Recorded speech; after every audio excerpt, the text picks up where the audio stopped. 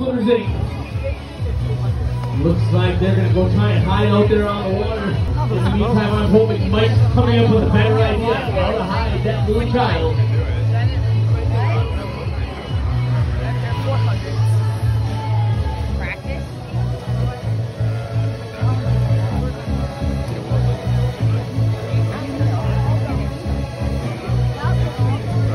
Looks like they are just about ready to go.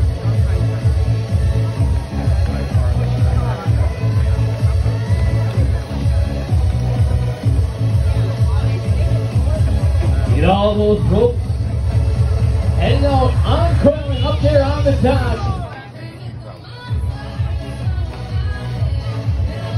Looks like they need to make sure which one was which. For safety purposes, they got that all figured out now.